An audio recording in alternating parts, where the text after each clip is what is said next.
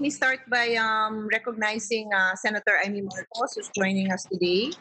And um, welcome, everyone. Good afternoon. I won't uh, mention everyone because uh, most of you who are actually with us um, in this uh, um, WebEx meeting are actually all going to speak. No, so I'll I'll uh, introduce you when you speak.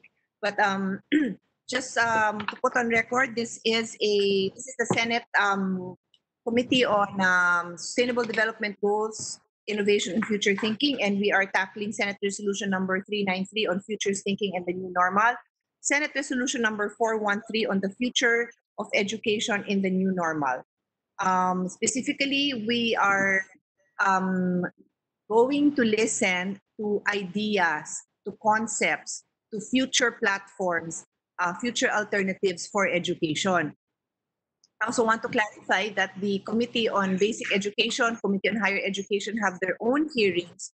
So the objective of this hearing is really to look into the future. So bear with me um, for the resource persons and and um, speakers that um, if you focus on basic matters which I feel should be in the hearing, uh, the two other committees, I will just point that out because um, I don't want to have to overlap. No, we I want to use our time wisely. We only have two hours, in fact, uh, an hour and 55 minutes. Um, and that is why I really want to look into the future. I'm not even sure if we will be able to call on every resource person. I'm very excited to hear ideas. And so if um, there's a big chance that we will have a part two on, on uh, the future of education alone. Um, but let's get started. And um, hold on one second.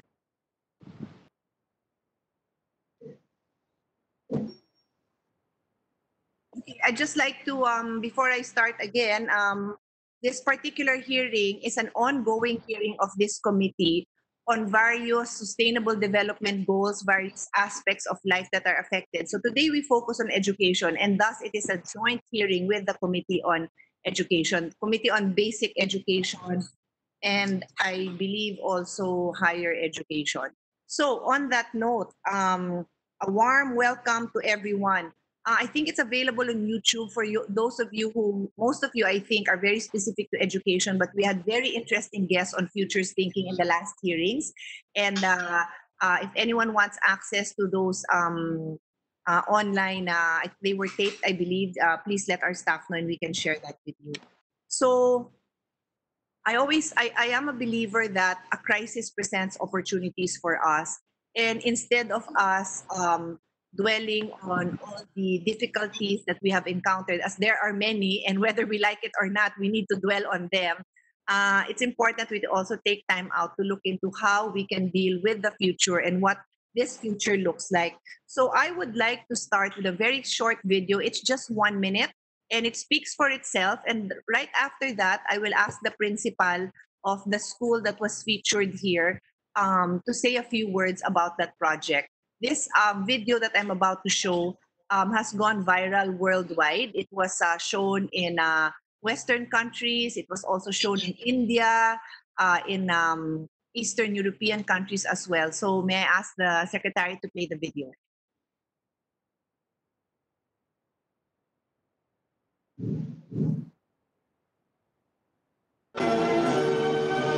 Outstanding performance in communication.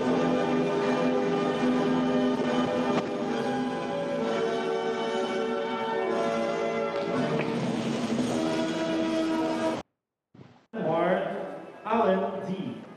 With honor.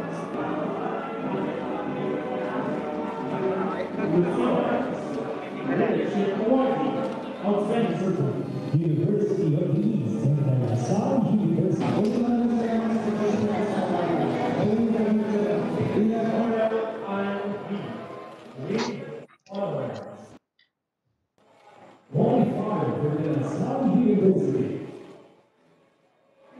conducting now the cyber graduation of uh, 179 of our public school students.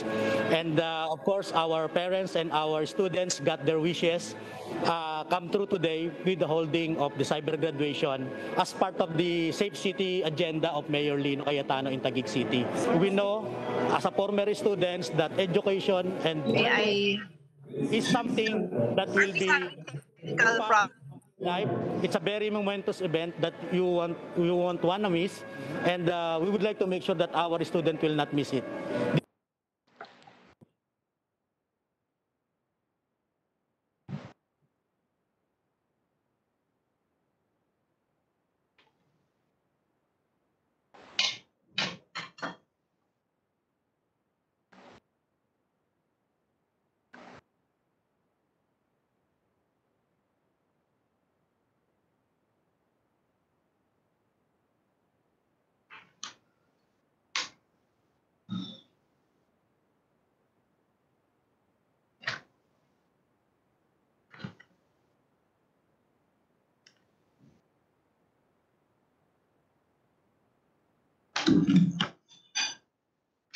Good afternoon, ma'am. George Stephen po.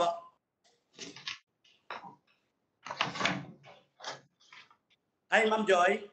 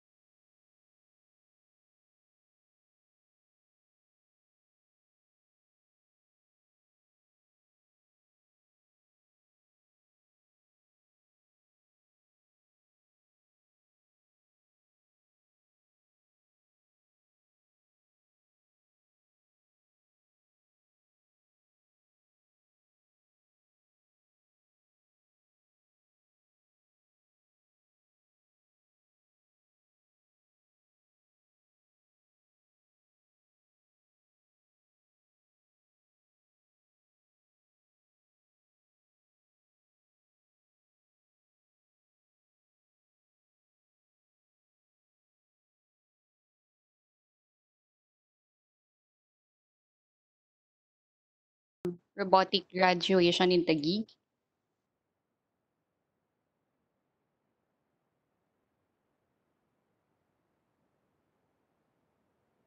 Sir, I think you're on mute.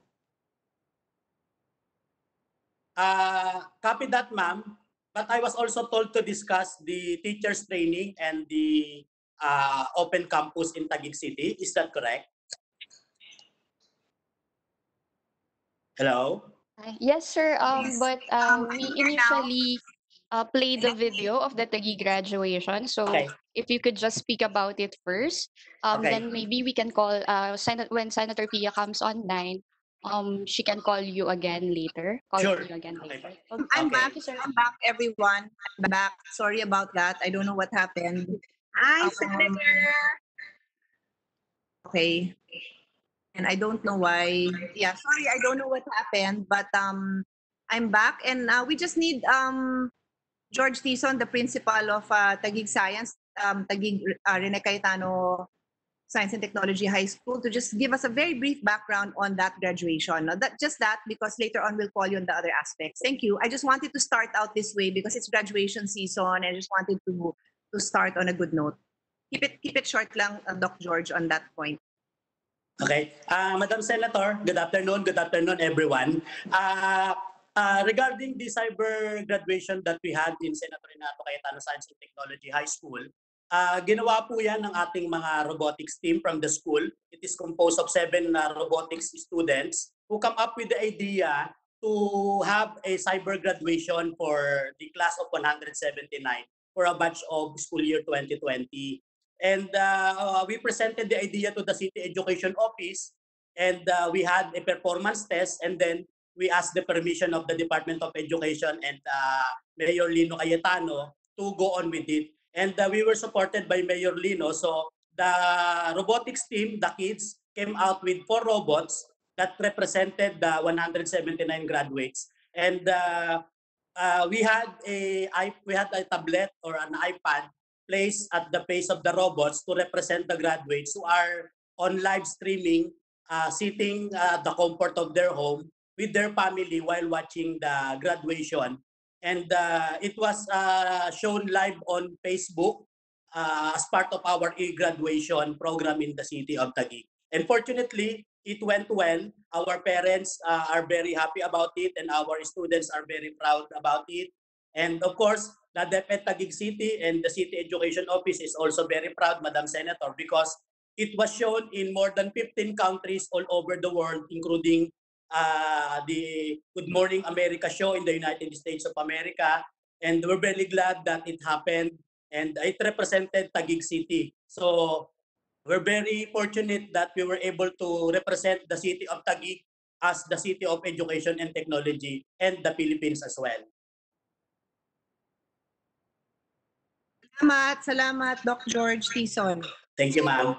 on that note, on that note, like I said, I just wanted to start with something exciting, something that uh, showed that our students and a public school at that are uh, learning robo- robotics and have been able to put it to good use.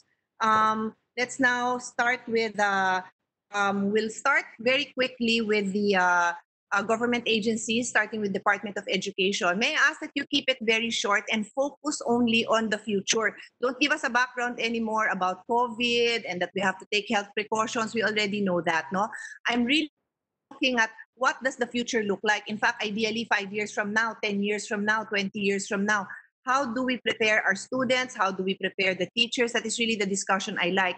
And like I said earlier, I'd really like to focus on the ideas of others, um, the teachers themselves. We invited Metro Bank, Metro Bank awardees. We invited um, teachers and um, um, experts in the profession from different areas. But let's start first with DepEd. So um, it's a, um, I don't have the name of the person here, but I believe it is a USEC. USEC, which USEC is here? Sorry, I don't have the name unless I'm missing a, a list. But please proceed, DepEd.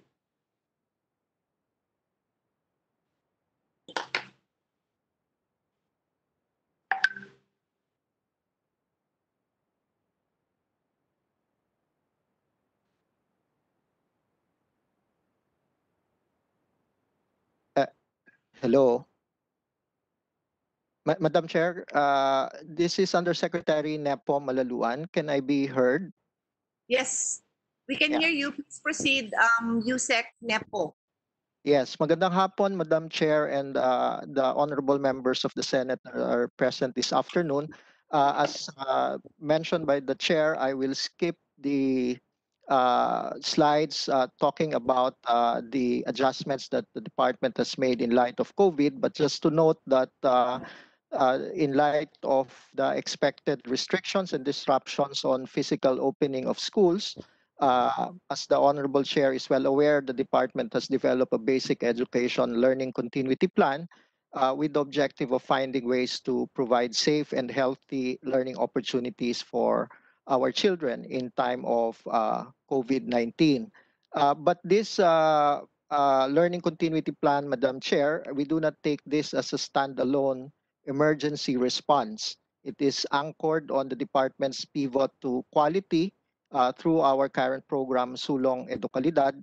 And we also want uh, this LCP to bridge into the future of uh, education. Uh, on slide 19, uh, I'll start with that. Uh, Madam Chair, even before COVID 19 struck, the Department of Education was already about to set up an education futures unit. And by happenstance, it was mentioned by the secretary uh, during a budget hearing that the honorable chair was presiding uh, in the last budget process.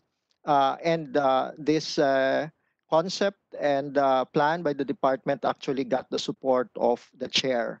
And the vision of the secretary in creating this unit is for us to have a a a an agile unit that will be able to prepare and not really to predict. Its desired output is to identify, understand, and influence the key driving forces for change uh, towards a desired outcome. We envision this unit to be an innovation center and uh, uh, and that its work will uh, naturally be disruptive because it will challenge the existing as- assumptions and provide out of the box uh, solution to basic education's pressing problems and uh, challenges. Presently, Madam Chair, this unit is working with two teams. One is led by Dr. Brillantes of UP and CIPAG, and the other is led by Dr. Sherilyn Monterola of the UP College of Education. And in fact, the succeeding slides uh, from slides 22 onwards that I will show are mainly arising from an ongoing scoping study by Dr. Monterola. So what is in the COVID-19 horizon uh, for education? And uh, we start with a uh, with a a principle on on how to approach uh, this what is in the horizon. Uh, if UNESCO has the learning to become as a principle for the futures of education, what we are adopting in the unit is a learning to flourish principle, uh, which emphasizes the ability of an individual to prosper or thrive, regardless whether circumstances are favorable or challenging. And it, uh, we hope that uh, this uh, aspiration to flourish uh, become the embodiment of the aspirations of every Filipino learner. Uh, the goals of the of what we envision for education for every learner is on the uh, part of the agency of the learner, uh, the ability to act independently and to make choices freely and pursue goals persistently. In fact, uh, at the beginning of the term of Secretary Briones, uh, her agenda, she included not just quality, uh, accessible basic education, but she also included there the word liberating basic education for all. And that emphasizes the idea of agency, uh, of an ability to the learner to act independently and make choices freely. Uh, of course, there is also work readiness, uh, having the durable skills and multiliteracies that will make learners thrive or prosper in the future jobs. Uh, but we also want uh, responsible uh, citizens and proactive citizens uh, that encompasses both local, global, and digital citizenship. Uh, the idea of human flourishing is uh, to be able to uh, for the education sector to assist in uh, developing a complete human uh, well-being, uh, which means one who is self-realized and fully functioning and purposely engaged in different aspects of life. In other words, one that is able to flourish on independently on one's own. Uh, next slide. Uh, the key areas uh, that uh, guided by the future goals of education and the uh, life learning framework, uh, the Education Futures Unit intends to work in the near term on the following key areas. Next slide, please. On exploring technologies for remote learning, on reframing the curriculum, on anticipating educational opportunities from innovations, and on reinforcing learning sciences, assessments, analytics, and knowledge uh, mobilization. Uh, next slide. The area of exploring technologies for remote learning, Madam Chair, is very relevant at the present uh, situation. One of the key areas that we would like to focus on is to explore a multitude of technologies for remote learning, given our current technological challenges. And uh, In other words, the idea is always that remote learning will uh, have to be uh, digital and online in nature, but given our limitations, we need to really uh, enhance and explore uh, many technologies for remote learning given uh, the challenges that we face. Um, uh, and uh, this the list uh, only offers some of the areas that we can uh, explore. Next slide. On the area of reframing the curriculum, we have here the idea of uh, prioritizing essential and cross-cutting knowledge skills and mindsets. Uh, so this includes the developing 21st century competencies that cut, cut across subject areas through integrative and in and transdisciplinary approaches. Uh, today, Madam Chair, uh, we're still doing the uh, subject by subject uh, approach in teaching, but uh, more and more uh, there needs to be a, a prioritization of the curriculum on cross-cutting knowledge and skills. The second is to embed multiliteracies. Uh, the pandemic uh, has shown that multiliteracy such as information, scientific, health, financial, and civic literacies are important for people to uh, respond to the crisis. So when citizens have uh, multiple literacies uh, that are functioning, they have better understanding of, uh, for example, how the COVID-19 uh, is spread, uh, where they are more critical about the information they receive, uh, and they have a sharper sense of the social responsibility and are more capable of dealing with uh, financial shocks as we are uh, experiencing now. Just like to make a comment. Madam Chair. Your, your, your presentation is very interesting. I just want to make a comment because when you move on, you might have something else that I, and I'll forget this one. Two things I want to point out. When you talk about um, um, embedded multiliteracies, no, you mentioned information and how the students need to process this. May I just make a recommendation that um, I don't know what age it is appropriate, now, maybe whether it's 10 years old, 12, 15, I don't know. I have a 10 year old. I'm, I, I'm trying to help him discern how to appreciate information out there because when we were growing up, it was very simple. eh. You read the news, and more or less, you can assume that what you read in the news is fairly accurate. No, there's always dissenting opinions, but there's fairly accurate. Ngayon, there's like all kinds of information exploding before you.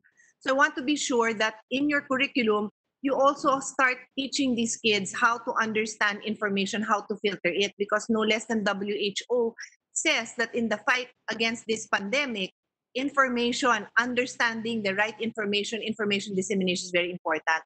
So I've never heard a discussion wherein I hear about our concern that we teach our kids about um, um, being uh, the, the right uh, GMRC online, no? Pero yung how to process this information, how they on their own they can they can um, uh, try to understand what is correct information and not. I have not heard that. So can you just include that, no, in your um, in the in the implementation of these embedded multiliteracies? That's one point. Um, the second the second point I want to raise is um, um, is it is it part of embedded multiliteracies or cross-cutting cross-cutting knowledge and skills where you talked about uh, the importance of um, uh, teaching like you said right now we we teach our subjects individually but we will need to cross cross um uh, what was the term that you use which which word does that fall under? That that's where my next comment is. Uh, yes, Madam Chair, more more integrative and transdisciplinary approaches to teaching, saan, Madam Chair. saan yan saan yan. Uh, in the prioritizing essential and cross-cutting knowledge, skills, and mindset, Madam Chair. Okay, so on that point, no, on more on, on a more integrative approach and uh, um, cross-disciplinary um, um, method as well, I think it is very important when DepEd makes presentations or when you are called to hearings, both in the Senate and the House of Representatives, that you mention this because uh, Senator Marcos is very aware of this because she's the one who raised this in the last hearing, which I I uh, I seconded, no, I supported her point of view on this that kanya-kanyang lobby kasi ang mga ang mga legislators dun sa pinaniniwalaan nilang important subject matter, no? And lahat naman important, but at the end of the day, DepEd has that obligation to filter all of this and to decide how many hours of each they get. And very seldom, no, it is often mentioned that I don't worry ma'am, sir, naka-embed na ho yan dun sa isang um, sa subject natin na ganon. But most legislators do not have that concept of this integrative or cross- cross-disciplinary approach because we were brought up, as you said, we are still teaching one subject. So pag sinabi nyo na, ay in-embed na ho namin yung, ah, kunyari, ah, ano man topic ah, whatever topic, na embed na ho yan dun sa um, social studies and blah, blah, blah. Akala nila you are diminishing the importance of that subject matter. So I'm just giving you a tip on how to present it so that there's a better understanding that you are doing this, but this is the method of how you teach that subject matter. Okay? Kasi year in and year out, yun yung naririnig kong problema eh. And, and there is a lack of understanding that the approach is really meant to be integrative. I- May I respond, uh, Madam of Chair? course, of course, sure. Uh, yes, that's correct. Uh, first, uh, what you mentioned about information literacy, uh, no, no time uh, is is the importance of this uh, shown is, is than the time of COVID nineteen, where uh, uh, information, uh, whether supported or not by scientific evidence, are really uh, out there and can move decisions, policies, opinions of people across all facets of life. And in fact, in the PISA result, uh, Madam Chair, uh, that information literacy played a big role in uh, some uh, in our low performance in reading. So this is an area that we really need to uh, strengthen, uh, especially with multiple uh, sources of of information. It is not enough that you understand the literal meaning of the word, but you have also have to deal with uh, sometimes conflicting opinions, conflicting evidence, and these are matters that need to be weighed uh, Yes. by our learners, Madam Chair. With respect to the integration, uh, I think uh, this is a matter that uh, is a, a, a big challenge for the department because it involves not just a curriculum, but also the pedagogy and practice of our teachers in uh, teaching uh, the subject. Uh, in other words, there are instances when the curriculum comes ahead of uh, the ability of our uh, of our learning situations to adapt to the curriculum in terms of, uh, as I mentioned, pedagogy, our learning resources as well as and the learning activities that are engaged in by the teachers and the uh, learners. And here it is very important, Madam Chair, uh, especially for a futures thinking unit, to be able to demonstrate how this is really done. Uh, because usually uh, the path to change uh, has to be shown uh, by concrete uh, demonstration. And I think we need to uh, be able to find leading components similar to what, for example, the school in Taguig has done. In other words, being able to demonstrate that a, a, a graduation at this time can be done in a safe manner and in an innovative manner. Uh, there will always have to be that concretization so that the uh, curriculum adjustment is made real uh, at the classroom level, Madam Chair. Uh, Okay. If I may proceed with the next uh, uh, with the next slide. Uh, Um, before you proceed, no, let me just acknowledge the presence of uh, Senator Pacquiao. Um, Senator Manny, feel free if may questions ka, no, just um, uh, open your mic and feel free to ano, and Senator Imee as well. Anyway, um, yes, um, Thank you, USEC uh, Lep- Madam Chair. yes, Senator Pacquiao. yes. uh, Thank you. Madam Chair, I- Uh, I just have um uh, after him, after him, after him. yeah. May I proceed, Madam Chair? Yes, before you proceed, one last comment lang.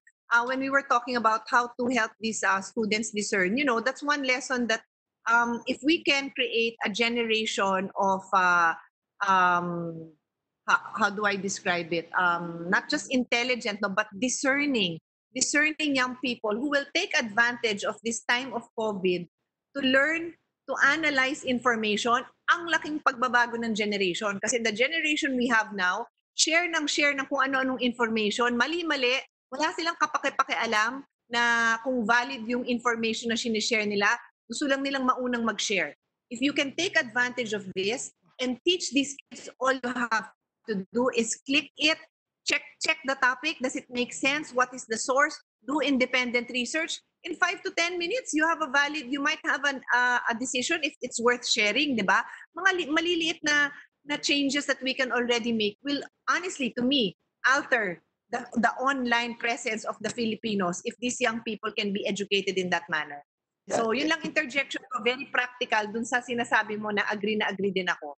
including the older generation, Madam Chair. Uh, Actually, lalo na yung older generation. Pero we are talking about basic education right now, so focus muna tayo yes, sa yes, bata.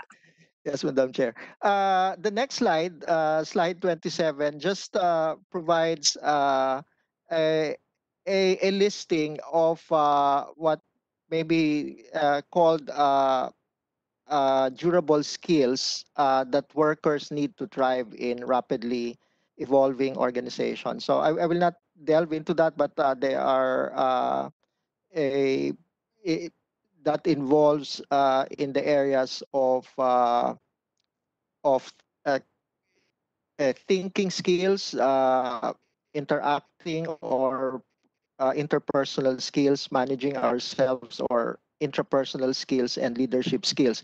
Uh, Madam Chair, uh, this has always uh, to go back to our idea of a flourishing individual. In other words, why we are doing this is uh, to have that uh, a flourishing individual in terms of the agency, the skills for work, and, and to be able to to cope with the uh, rapid changes in both technology uh, and challenges of uh, of the times.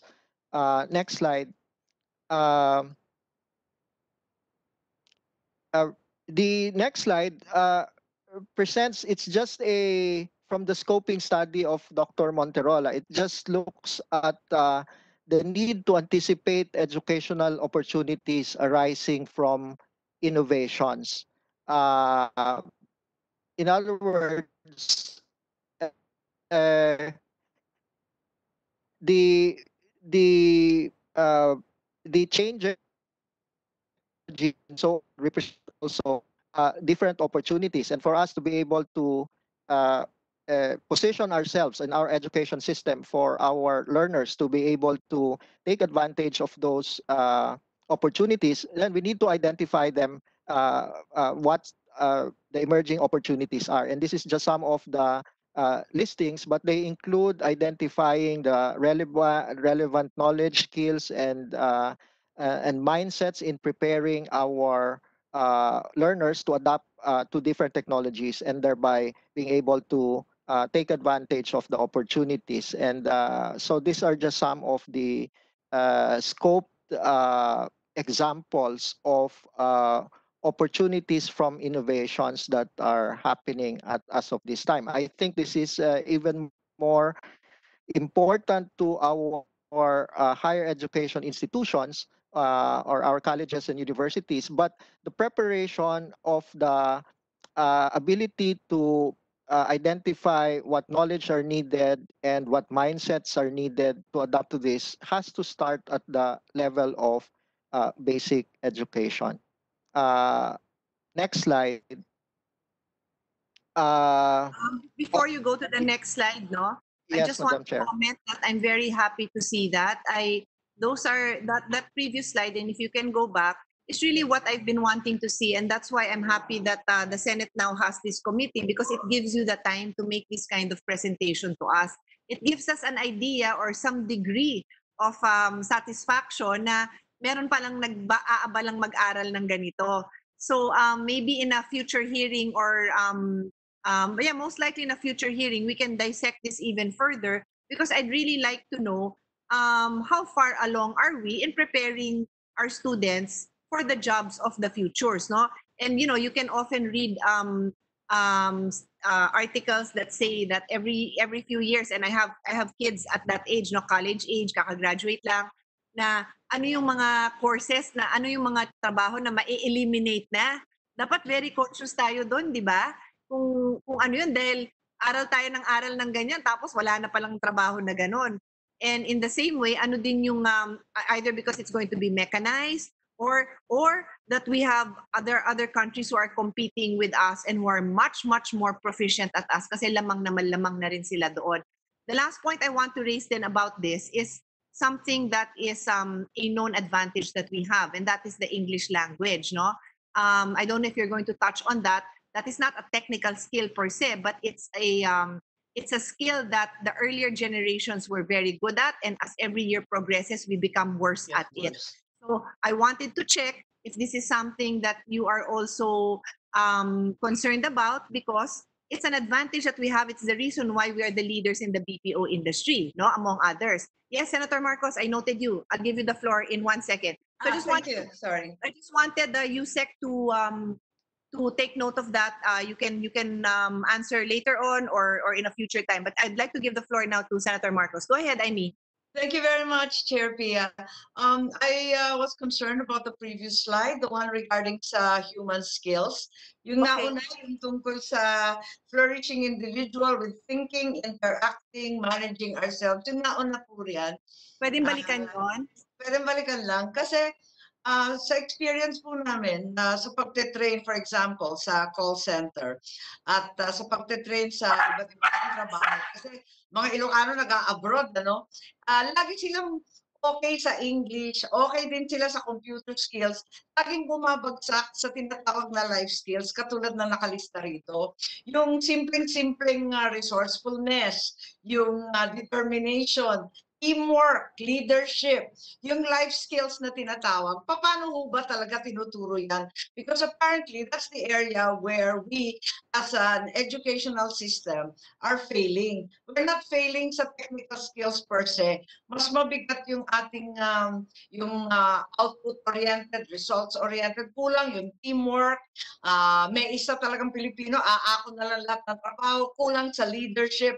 All these things that are probably called the soft or the life skills. Paano ba tinuturo yan? Kasi magiging more important yan sa ating futures planning, futures thinking, ay yung resiliency, creativity, lahat yan magiging part ng Madam Chair, may I- uh, Please, I also want to uh, hear that. Thank you, Imee. Very interesting.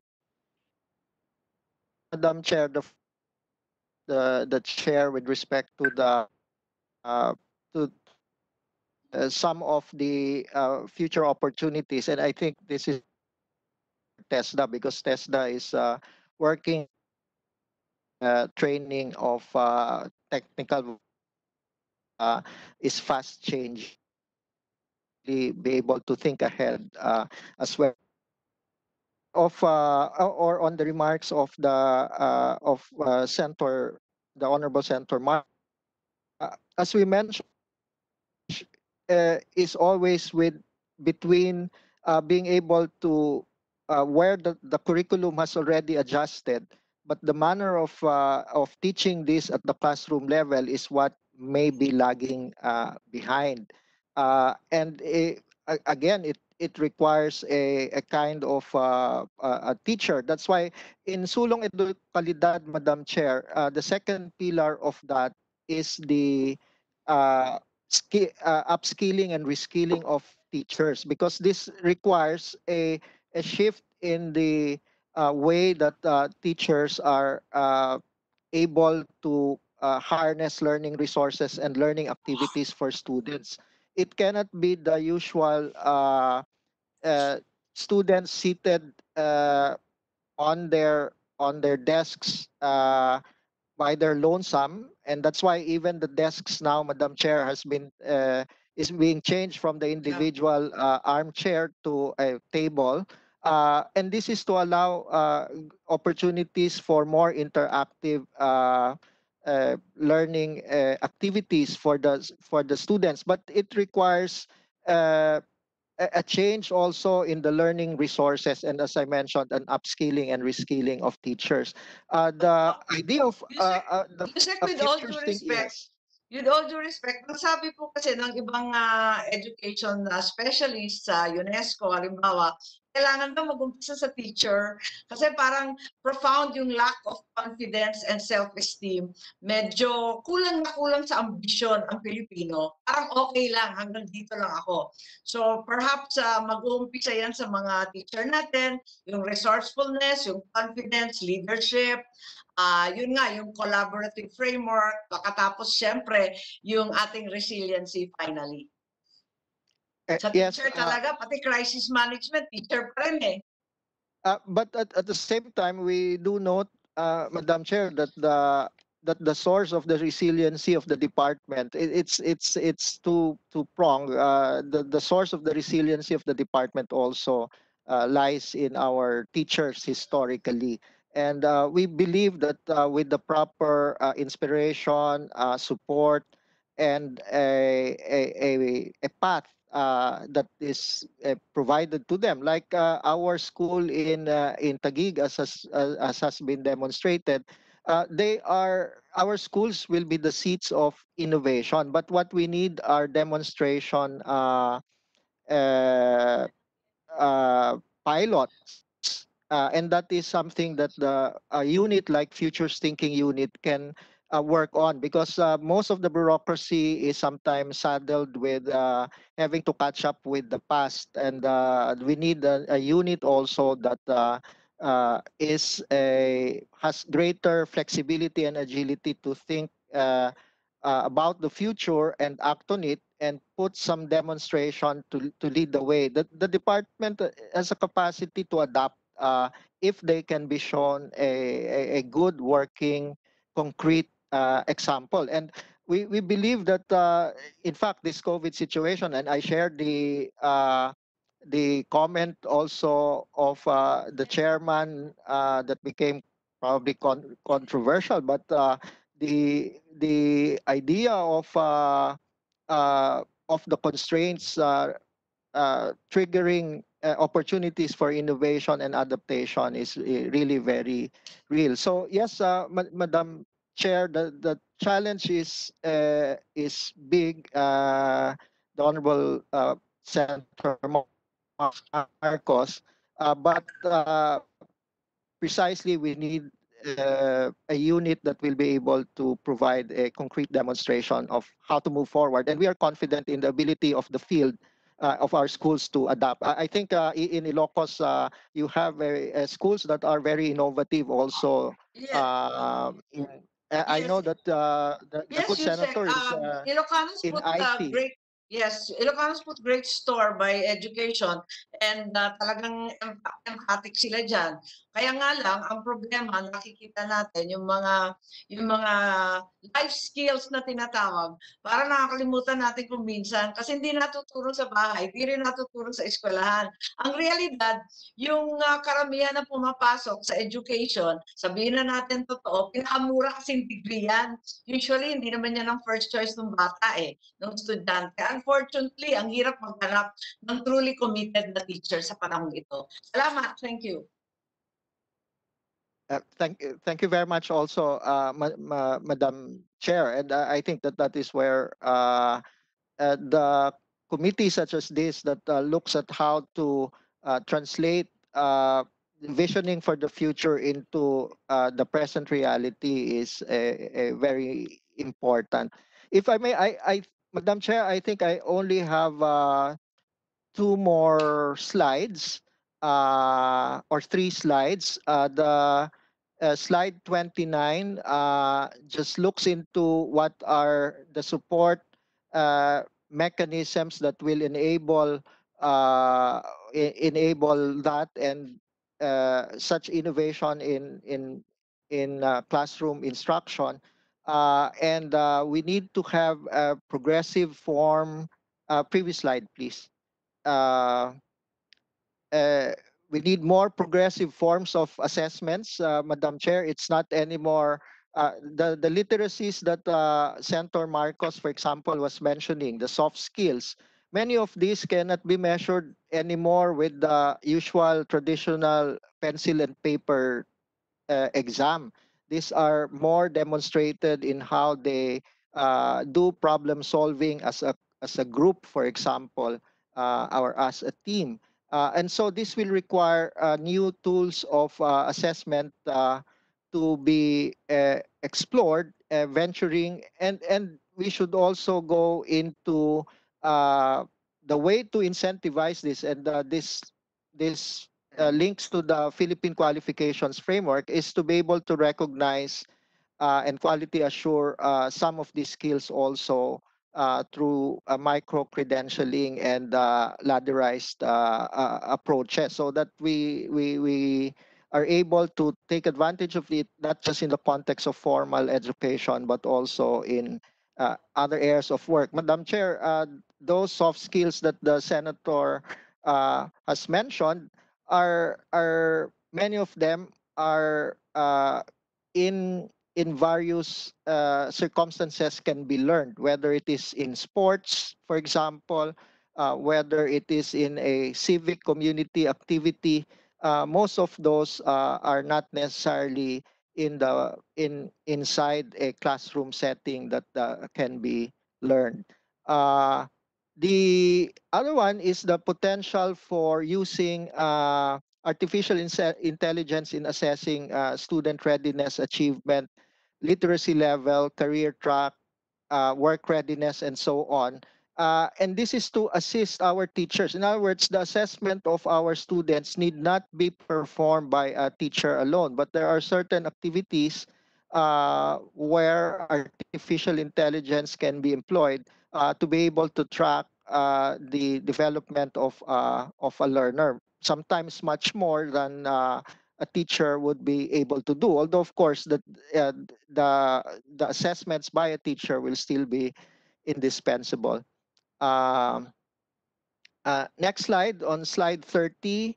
Uh, this is to be, and again, uh, the present COVID situation uh, puts this into a compelling need at the moment. Uh, uh, the alternative learning spaces, the learning spaces now are not only confined to physical and formal learning spaces, and that will be shown much, much more with the need for distance learning, uh, Madam Chair. So it can be also in virtual learning spaces uh, and also in informal uh, settings, uh, especially if we are restricted from the students coming to the school on account of COVID-19, for example. How do we uh, reimagine the uh, learning space outside of a classroom. And I think it's very clear now because I think the the country as a whole cannot imagine a learning without the students physically reporting to school. But uh, the Taguig uh, experience with the graduation shows that a graduation ceremony can be conducted with the presence of all, but virtually. Uh, uh, and finally, our last slide, Madam Chair. Uh, in the scoping work of uh, Dr. Monterola, she has provided to uh, an immediate a distinction between an immediate future, those that are uh, something that we need to catch up, but is already here.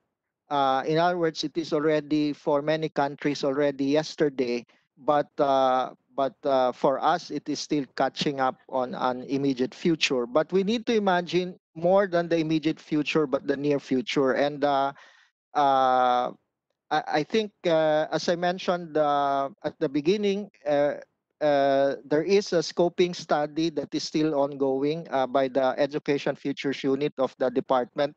Uh, the COVID-19 did not stop the unit from already doing its work. And towards the fourth quarter of this year, we will organize a visioning forum or conference to further enrich the areas uh, that we intend to work on and to discover partners to build our futures thinking constellations. The the matter, Madam Chair, of having a futures thinking unit is that we cannot rely on existing uh, human resource because uh, you might have a unit that is uh, peopled by backward thinking people. So it's it's difficult to have that. We need to find uh, various uh, uh, units that are bearers of uh, futures thinking, and it can only be done through uh, networking and uh, partnership. So, uh, in conclusion, Madam Chair, we look forward to continued partnerships with the committee on this endeavor. We, we, I'm sure that we will be uh, seeking the support and the participation of the committee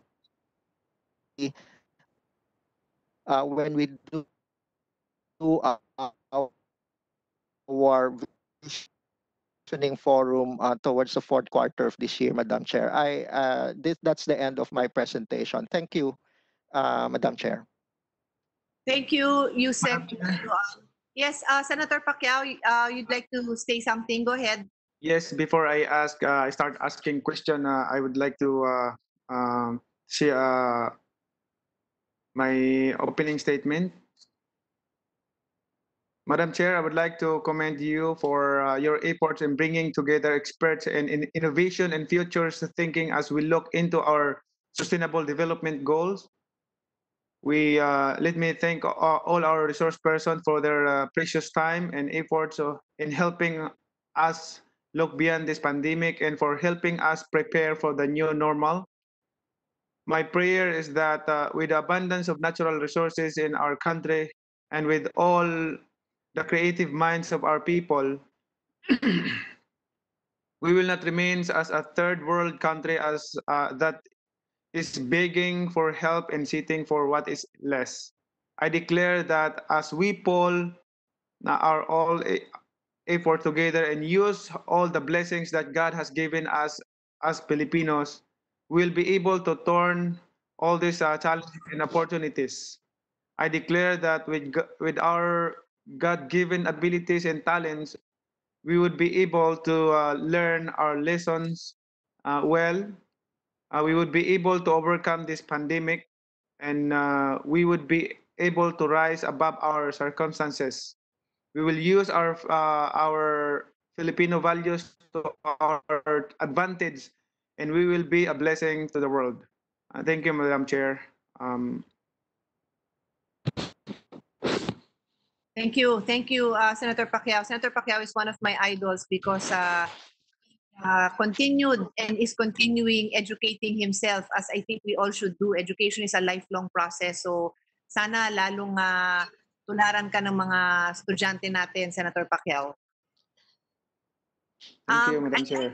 I'd like to call on our next speaker would be TESDA, Teresa Legaspi, um, and then after that would be PASUC. But I'd like to um, inform the other resource persons here because we have session at three o'clock and we start promptly at three o'clock. There's a big chance that we will not finish everyone. So if there are any of you who have other appointments, I really don't mind if you have to go. It's understandable dahil I already foresaw na be a lot of questions and I do not want to prevent my colleagues and even myself from asking questions kung maganda yung mga statements, no? So kung may mga, we have those coming from the private sector, kung may mga appointment po kayo, naintindihan ko yan, um, but please message us so that we can um, schedule you again. I will I will definitely have a part two. But if you can stay on, gusto ko rin kasi I would also like to get your comments and feedbacks about the presentations. So, yun lang, para hindi naman kayo maaberya kung may mga kailangan din kayong gawin at nag-antay kayo na matapos itong hearing, tas baka hindi po kayo matawag. So, may I get Tesla and following Tesla is uh, pasok si Dr. uh, Tirso Ronquillo. Please go ahead, Tesla. Miss Marisa Legaspi. Uh, uh, thank you, Senator, and magandang hapon po to the chair and to the members of the committee as well as the other participants in this online hearing. So on behalf of uh, Secretary Isidro S. La Peña, let me share with you what we are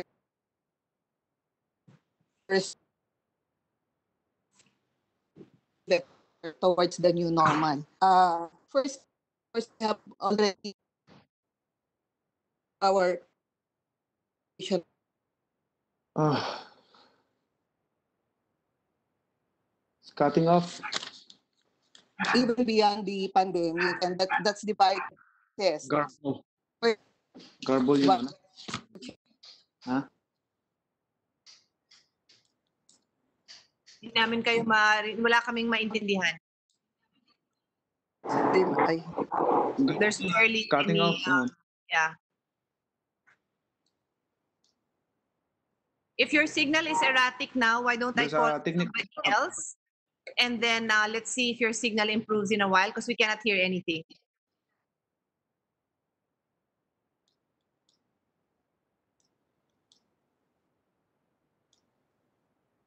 O, sige. Let's proceed first in the interest of time, no? Let's proceed with pasok um si um President uh, Tirso Ronquillo and then we will call on Ms. Legaspi later on. Wala walang sound? Ako ba yan? Can Okay. you hear me? Yes. Uh, hello. Uh, Okay, yes. President. Ronquillo, please proceed. uh, good afternoon, uh, Madam Chair, uh, Senator Pia. First, I would like to thank you for inviting PASUC in this uh, short conversation about innovation and future thinking.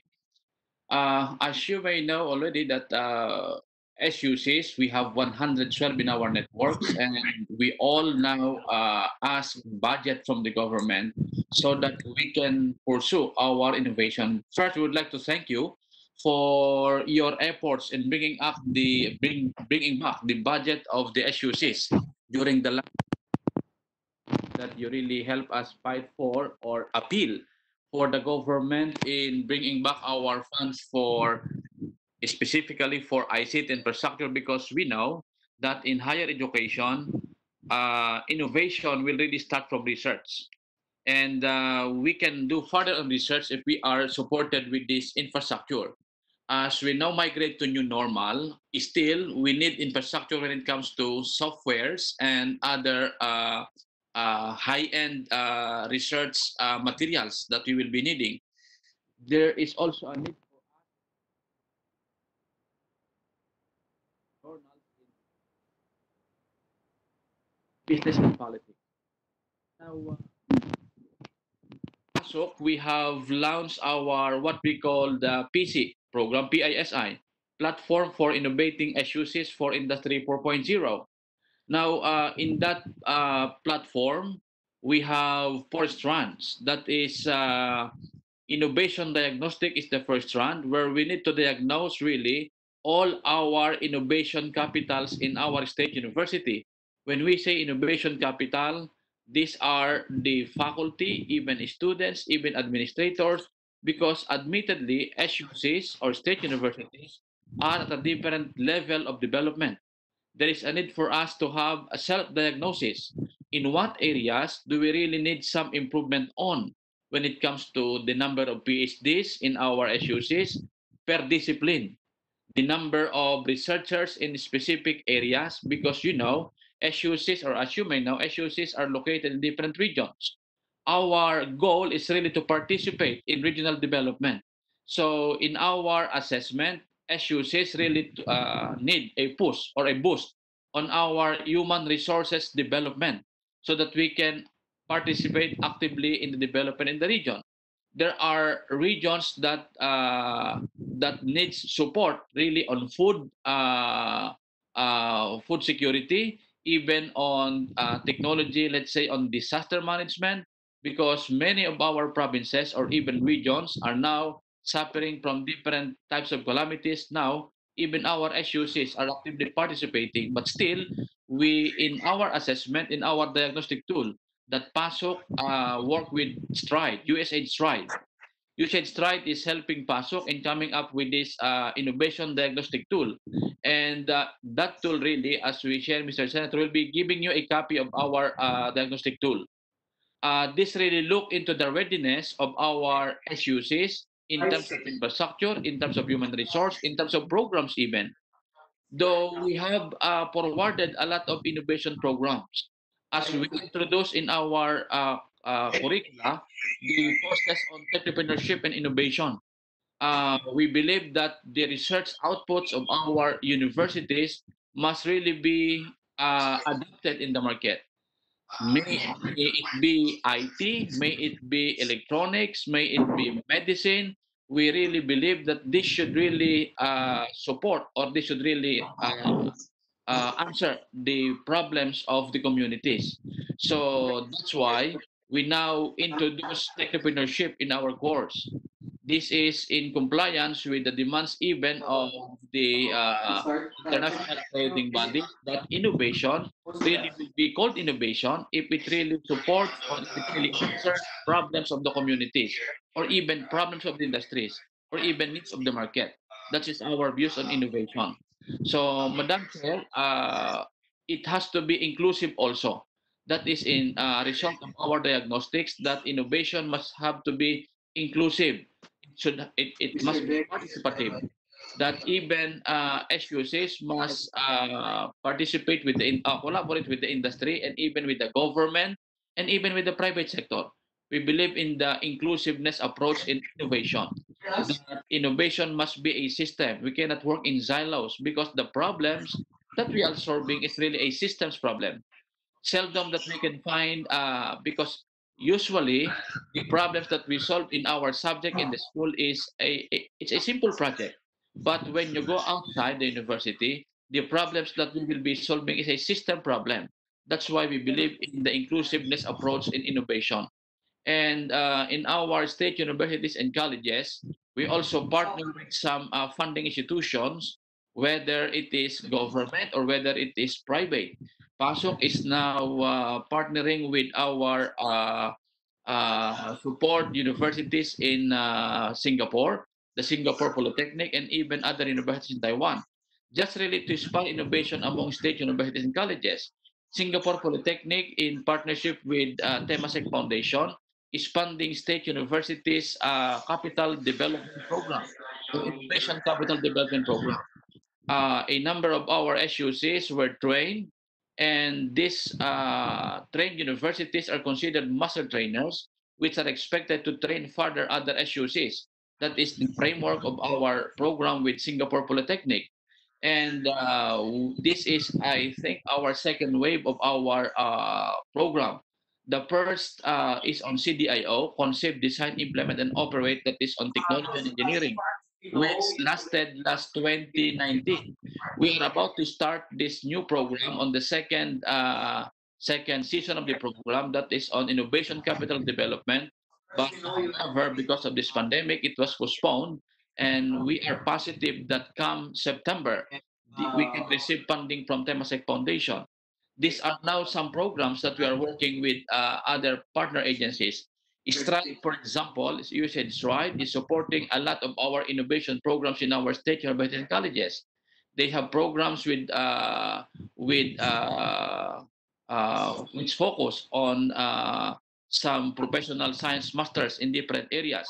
So some of our universities benefited from this program of uh, USAID Stride and many others.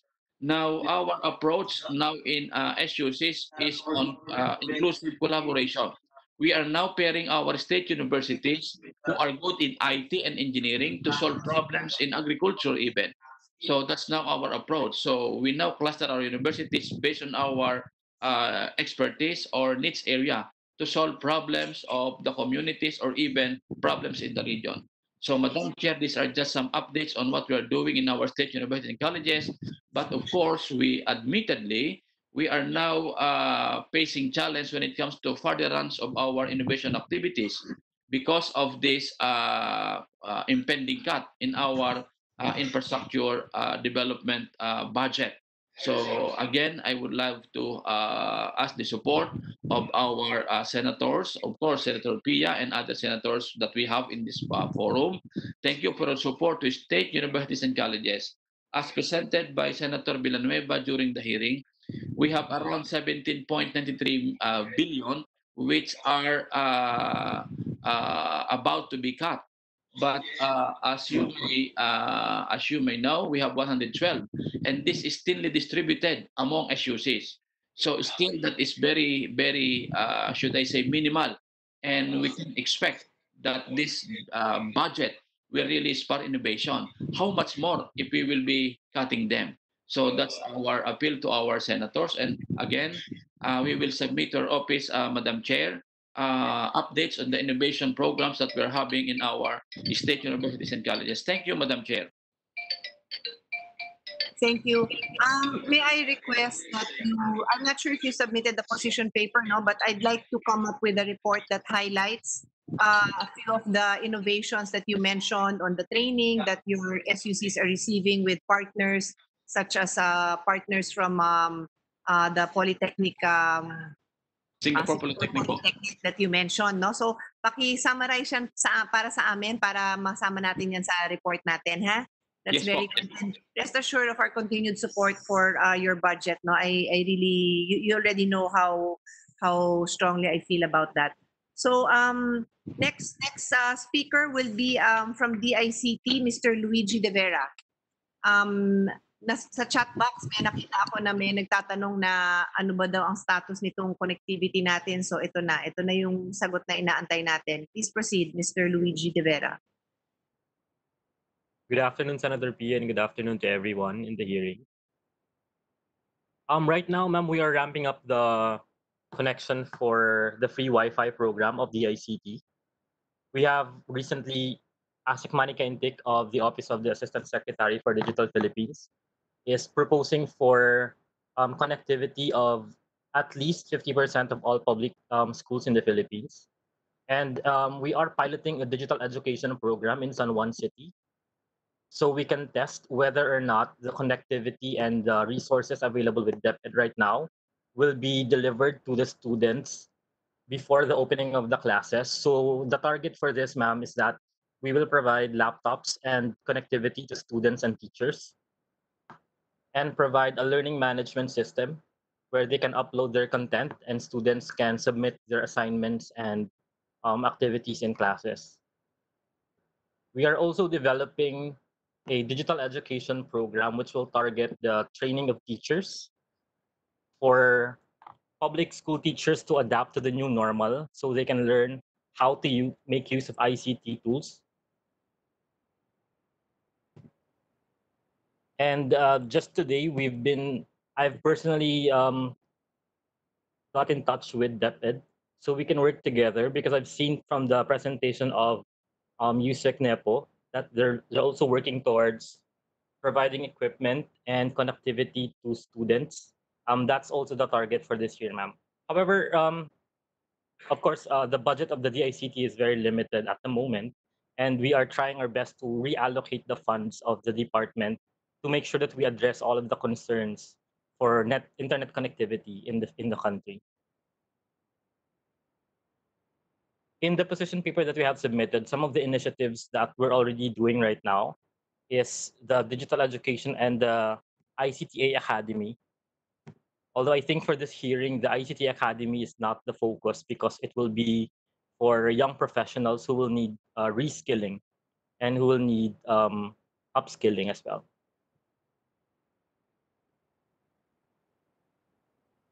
That all? Y- y- that's that's it for the meeting, ma'am. Okay, thank you. No, that was very concise. Um, I appreciate that. Um, very quick questions. No, when you say that you are now trying to um, set up the connectivity for 50% of public schools, did I hear you right? Uh, that's our proposal, ma'am. Um, we're waiting Ah, that's for a proposal. Okay, Yes. and what's the budget for that? Do you have a an as, uh, estimate?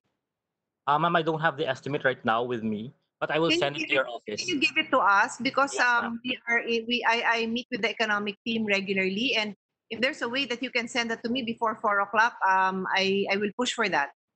I'll, Okay. I'll make a way, ma'am. I'll send it to you immediately. Anyway, some, ano lang naman eh, estimate, no? So, Yes, sa- at a figure that we can work with.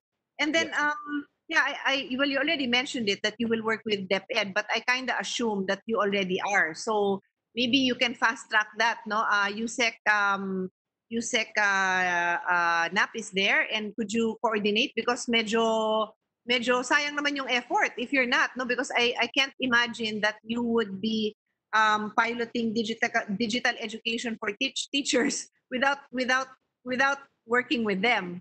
Though that that I, has actually, come ma'am, hand we are already we are already working with DepEd, but not with um USEC NEPO's office. But I think with the futures unit of DepEd, Ah, okay. Well, to synchronize sige. our efforts better. Okay. I think they work together naman. So kindly Opo. keep us posted also, no? Because um come um well probably as early as July, the House will start hearing budgets for 2021. But I chair the committee uh, I, I chair the the um, I'm the vice chair for the committee of of uh, finance, and I oversee the budget of education.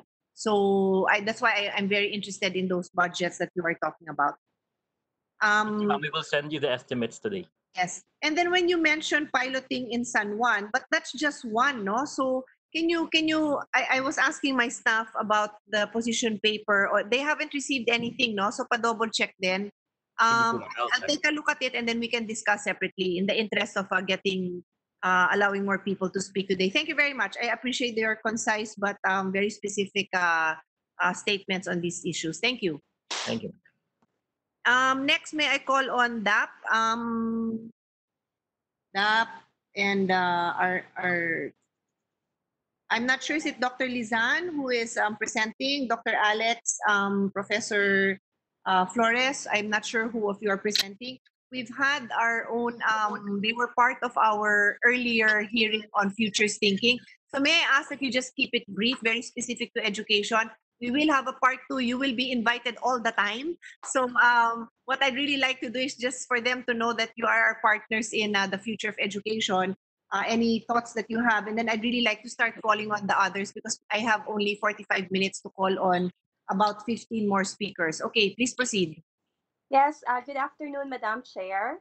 Uh, this is Lizan, uh, the Dean and uh, the Dean of the Graduate School. And uh, this afternoon, um, we would like to uh, share with you our uh, futures thinking response you know, to a more uh, responsive education sector in COVID-19 in Philippines. And uh, as a response to Senator Pia Cayetano's Senate Resolution number 413 dated May 21, especially in this paragraph, um, which is shown on your screen, where in futures thinking is really the anchor for us to have a systematic assessment of the education system and likewise for us to move towards an effective delivery of education system. So this afternoon, we would like to share with you a framework on green education, which I will explain later on.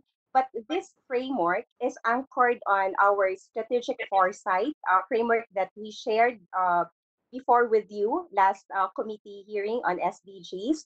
But the emphasis of this framework is really the, the use of policy tools and collaboration of stakeholders towards a sound and relevant uh, policy direction.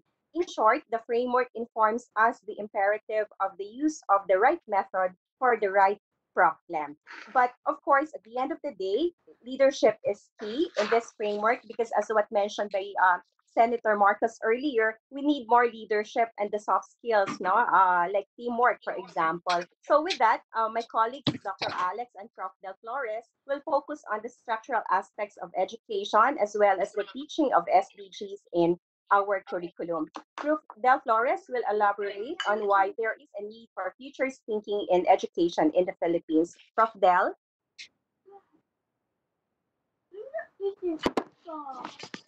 Uh, thank you, Dinisan. Good afternoon, uh, Madam Chair, honorable members of the committee. The COVID-19 pandemic brought about dramatic changes in the world and society, such that we can say that the future is no longer what it used to be. What used to be the expectations, dreams, and aspirations of our youth may no longer be feasible in a post-COVID-19 world. For instance, career opportunities in aviation, tourism, entertainment, leisure, and even professional sports may become more limited. On the other hand, we can also say that COVID-19 only accelerated the trends that were already developing even before the pandemic, like work from home arrangements and the growing importance of information and communication technology, or ICT, and artificial intelligence, or AI, in our daily lives. The fourth industrial revolution centered on the fusion between and among physical reality, digital technology, and biotechnology seems to be coming in full force sooner rather than later. Uh, for example, we have the cyber graduation that uh, had been presented earlier. It is uh, one manifestation of this fusion between by, digital technology and physical reality. In this case, we can actually say that the future has come too early. Whatever the situation is, uh, we believe that COVID-19 highlighted the need for more urgent educational reforms in our country. For instance, our labor force should be equipped uh, to be more relevant and competitive in the post-COVID-19 economy. Our citizens should also be informed better on the social, economic, political, and ethical implications of the COVID, uh, post-COVID-19 world. The current pandemic seems to have magnified issues on access to social services, including health and education, as well as on social justice and cyber citizenship, among many other concerns. We believe that futures thinking is essential in responding effectively to these opportunities and, uh, challenge, uh, and challenges as it allows us to plan 10, 20, or 30 years ahead without actually discounting uh, present uh, concerns. In fact, uh, futures thinking gives us an opportunity to revisit various education sector assessments and build upon them. For instance, our group led by Dr. Alex uh, Brillantes uh, with uh, Dean Lizan Calina was previously commissioned by the Department of Budget and Management to conduct a governance review of the education sector in relation to possible government right-sizing program. Among the documents uh, we studied were the results of the Congressional uh, Commission on Education or EDCOM report uh, of 1991 and the Presidential Commission on Educational Reform or PCER report of uh, 2000. We are also privileged, as uh, USEC uh, Nepo mentioned earlier, to be involved in the proposed uh, futures thinking efforts of the Department of uh, Education through the initiative of uh, our beloved uh, colleague in UPNCPAG, Secretary Liling Briones, Undersecretary Malaluan, and uh, Director uh, Demetria uh, Manuel. Going back to the opportunities and uh, challenges uh, brought about by uh, COVID-19 to our education sector, we believe that the pandemic has emphasized the importance of access to distance education and uh, online learning. Schools offering distance education and online courses are actually the least affected uh, by the pandemic in our education sector. In fact, uh, we can even say that uh, these uh, online uh, these schools offering online courses are now thriving. However, this has also brought up, the issue of what we call the digital divide. As we found out that many of our students, even in the top universities, and even some of the professors do not have access to uh, secure internet connection uh, as well as learning equipment like uh, laptops or tablets. The schools themselves might need to invest more on digital technologies apart from strengthening their curricula and coming up with courses that are more in tune with the new normal. For example, I remember the experience of South Korea before when they had this big push on computerization. They made sure that every household in Korea and uh, have a personal computer and the household members are knowledgeable on uh, what are the uses of these uh, personal computers. There might also be a need to retool our teachers or even our parents uh, before classes resume in employing a blend of face-to-face and uh, distance learning. The challenges in uh, pedagogy and uh, learning delivery brought about by online classes and homeschooling must be surmounted to ensure quality of uh, education. If there is anything positive that we can get from this situation, it is the opportunity for our students and education system to hasten the integration of 21st century skills, mainly identified with what uh, Dr. Domingo uh, mentioned uh, last uh, during the last hearing, uh, the forces of communication, collaboration, critical thinking, and creativity. We believe that students who are already utilizing digital technologies in learning will be in a better position to understand their principles and appreciate the myriad possibilities that they can actually offer. The COVID-19 pandemic has also underscored the importance of science and technology in various aspects of life, like medicine, biotechnology, and computing. This gives us an opportunity to place more focus on these fields and inspire our pupils and students to pursue careers in these uh, disciplines. As we grapple with the pandemic, deep-seated issues in our education sector remain. For instance, the trifocalization of education could have allowed for more specialization among education sector agencies and sharper focus on specific issues, but also diminished the coordination among DepEd, CHED, and uh, TESDA. With the need for 21st century skills to be integrated seamlessly at all levels of education, as well as the need to optimize scarce financial resources in investing on digital technologies, there might be a need once again for coordination or more coordination among the three education agencies, together with uh, the DOST and uh, also the PRC. The newly established uh, PQF or the Philippine Qualifications Framework can be an excellent venue for this uh, coordination. As a big part of our labor force is employed in services and the informal sector, which prove to be vulnerable in situations like the current pandemic, there is a need to further lessen inequities in access to education, especially at the secondary or high school level. The benefits of the Universal Access to Quality Tertiary Education Act could further be maximized if a larger percentage of our students could finish high school and progress towards higher and vocational education. Also, with the opportunities presented by online and distance learning, which seems to be thriving, there's a need to accelerate the implementation of the Philippine Qualifications Framework, or PQF, for the benefit of those who are taking these uh, courses so that they can be uh, accredited and recognized by their potential employers, and also for those who are employed uh, by this subsector. We believe that it can become even more competitive if uh, the PQF uh, framework uh, would be implemented widely. At this point, uh, Dr. Alex Brillantes will be discussing the importance of making our educational institutions more competitive at the regional and uh, global levels. Sir Alex.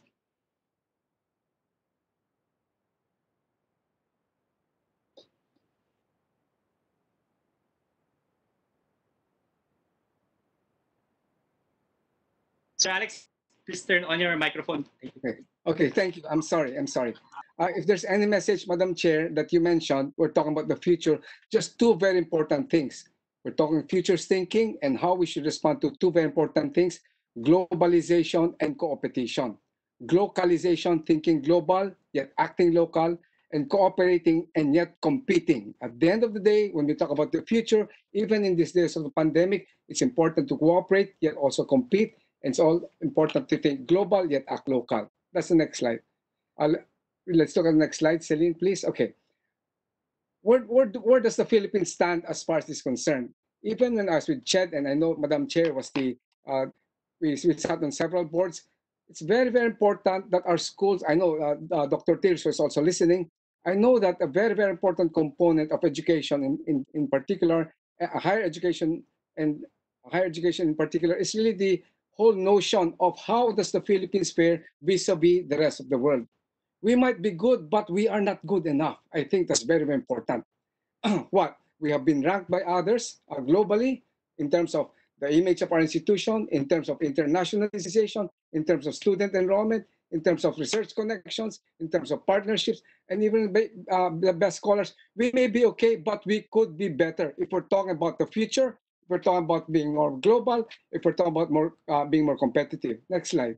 Uh, two very important, uh, next slide, Celine, please. Two very important uh, institutions that have been doing this are the QS and World Rankings uh, that have somehow uh, ranked all the higher education institutions in the world today. And just to disturb us, I think is important. Let's go to the next slide. Next slide, Celine, please. If you look at this, QS, top uh, world, world, Southeast Asian best universities. Southeast Asia lang po ito. Ang Philippines, which is supposed to be the number one university po, is number 14 in Southeast Asia. Next slide. If you look at the, uh, next slide, please. If you look at the uh, Times uh, Higher Education, only two universities were in the top 20 in Southeast Asia. I guess I'm mentioning this po, uh, for, uh, in order to somehow, as pointed by by uh, Senator Marcos earlier, critical thinking even among ourselves when we see these things. If you look at this, UP is number four and LaSalle is number 16. Where are the rest? This is in Southeast Asia. Next slide. I will hurry with this just to suggest uh, my point. If you look at this ranking of universities in Asia, the first was in Southeast Asia. Now in, in Southeast Asia, next is in Asia. UP, uh, uh, Ateneo, LaSalle, and, uh, uh, and UST uh, are 72, 115, 155, and 162 respectively. In other words, we could be better. As I showed in the next in the previous slides, sometimes we are now we are we fall behind universities in Thailand, Indonesia, and of course uh, Malaysia, and of course Singapore. Next slide. Now, if you look at the world, I think the next slide talks about rankings. Slide, uh, Celine, next slide, please. Uh, uh, the next slide would, would suggest, I, I think we should move to the next slide, Celine. Um, uh, the, well, the slide before that really talked about how we rank vis-a-vis the rest of the world, but I just, I guess I just missed that. and the picture isn't really as pretty. The point, dear friends, and as point as uh, uh, pointed by by Senator Cayetano in the beginning, if we're looking into the future, no, uh, we have to look at the how our how do we further globalize higher education by incorporating the teaching of SDGs? Point here is that I think in the future, apart from us being more competitive, we should also be involved in the global agenda, which is, among others, the teaching of SDGs in the curricula of universities. In, in one sense, po, we are we're involved, as I think I mentioned in the previous uh, uh, hearing, that uh, how do we incorporate the teaching of SDGs in the curricul curriculum of our schools? This is an initiative of UNDESA and UNPOG, and even recently with the UN Committee of Experts in Public Administration. Next slide. Uh, Celine? There. So my point, dear friends, uh, uh, the, the slides didn't come very well, but my point is that first part, we need to be more competitive. We're talking about the future. We need to be more globally, globally oriented. And where we are now, we're not exactly there. Number two, it's very, very important that to be more global, we have to incorporate, among other things, our vision of 2030, which is, of course, the SDG. How do we incorporate the teaching of SDGs into our curriculum? There are some schools that do that, and we're not even in, in, in that aspect. Okay. So this slide, I think, is very, very important. And I think this was mentioned by Senator Pia, and of course, I think even Senator Manny and of course, Senator Marcos talk about, you know, when, and even uh, Tirso earlier, it's really within the context of changing our mindsets. We can change structures till we are blue in the face. But if we don't change our mindsets, which is below the, the uh, iceberg, the public uh, uh, mindset is very, very important. And that is what teaching, that is what education is all about. As, next slide. As pointed out by Del earlier, we can we have many structural changes. Next slide, please. We have many structural changes earlier. No, uh, we talked about the importance of uh, the trifocalization. Question: How far have we gone as far as that's concerned? We talk about amalgamation. Dr. Tirso talked about it. These are structural changes that I think we should look at in the future. But equally important, how do we change the mindsets of our teachers? And equally important, how do we develop international mindsets? We have programs such as EU Share, Erasmus. How do we bring in foreign faculty? Sometimes the problem is we have a difficult time uh, bringing in foreign, for, foreign faculty. I think it's very, very important. And the other slide, the other points just just suggest the the the uh, infrastructure as pointed by by Del in terms of internet co connectivity, etc. The whole idea po is we can do structural changes, but equally important, we also have to do change our mindsets. And very important, as you pointed out, ma'am, earlier, the connection, the linkage between and among the DepEd and and uh, and CHED and DOST, which sometimes have to be further uh, have to work closer together, as brought out by findings of the uh, EDCOM study, as brought out by the PCR study, and also as brought out by our right sizing study. Uh, next slide. I think uh, that, that, that's where I end uh, in terms of this presentation. Thank you, Dr. Lizan.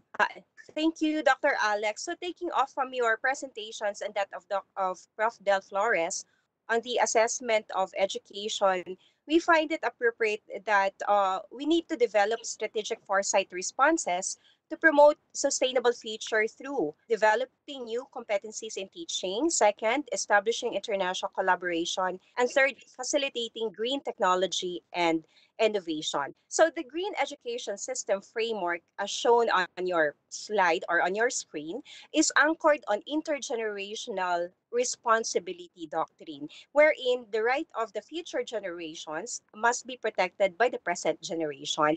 And this is the ethical component of futures thinking. And in fact, this concept was also reiterated in the Philippine case titled uh, Oposa versus Factoran, which can be considered as our own narrative. So again, the green education system is a response to Senator Pia Cayetano's Senate Resolution number 413 and also to the call for action on the realization of sustainable development goals within the context of fourth industrial revolution era. So as shown again no, on your slide there, the green education system uh, will help us achieve several SDG goals from ending poverty to protecting humanity to protecting the environment, to creation of green jobs, which we have right now, uh, green economy, and green environment.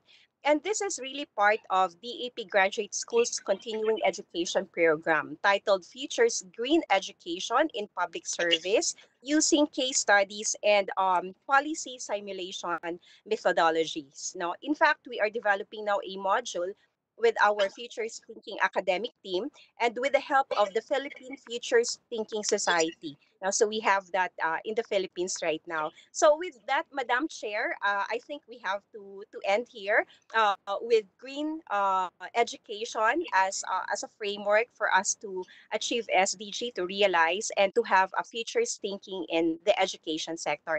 Muli maraming salamat po, Senator Pia Cayetano. Thank you sa team ng DAP. Thank you. Um, let me now call on, try ulit natin kung okay yung uh, connection ng TESDA kay uh, Ms. Marisa Legazpi. Oh, thank you, ma'am. Am I coming clear na? Mas malinaw na po ba? Yes, go ahead. Okay. Thank you, ma'am. So my colleague will share the presentation, but on behalf of Secretary La Peña, I'd like to share with you what we are doing now for the future of Tibet, especially under the new normal. But to immediately respond, of course, to the pandemic crisis, TESDA has formulated a TESDA operations plan, which should ensure our continuous provision of services and learning activities. So we have divided this into three phases. One is the survival, then the transitional, and the stru- structural.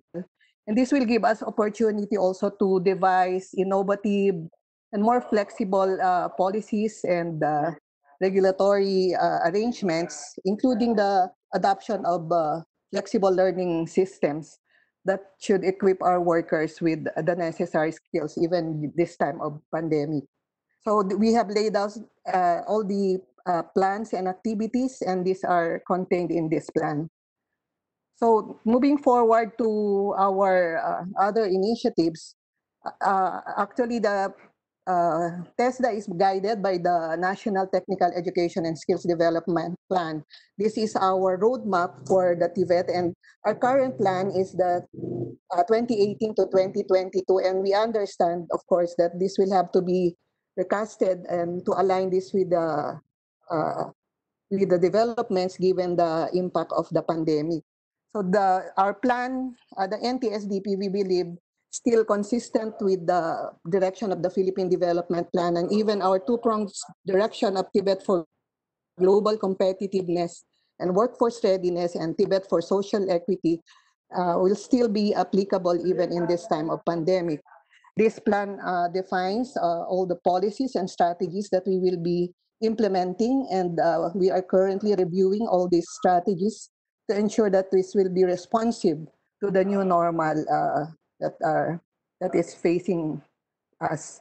We would like to inform also the body that uh, even before the pandemic and to prepare our work workforce to be 4.0 ready as well as to uh, in general to make them future ready our workforce we have already developed our 4. Point, uh, TVET 4.0 framework and we are guided of course by the various uh, literature even studies uh, on how to prepare our workforce. And foremost of this is the development of our learners to be 4.0 equipped. And uh, uh, because TVET is uh, normally known to be more focused on technical skills, we are now expanding the coverage and giving more focus even for non-technical skills and to include uh, embed uh, more prominently in our uh, standards and uh, training regulations would be the STEM-related skills, uh, essential skills, and the em- socio-emotional skills. The essential uh, skills would uh, encompass even the 21st century skills, and I think this is also the the skills that are lacking, and this is being conveyed by most of the employers. So our 4.0 framework already defines uh, the different elements that will help us uh, craft the different uh, policies and strategies. And this will include how even our uh, the development of our standards and curriculum, how we will align to international standards, how we will identify the present and future skills requirements, uh, the need to, of course, capacitate our learners and our teachers uh, to be 4.0 ready as well, as well as uh, equipping our TVET institutions with the technologies and the equipment to be uh, to be 4.0 ready. So these are contained in this framework, and uh, we will also revisit this framework to make uh, this also uh, adaptive to the new normal. So under this uh, framework, of course, uh, we would like to highlight uh, the efforts that we're moving, uh, that we are doing, especially in the area of uh, identification of skills requirements, not only for the present and the future.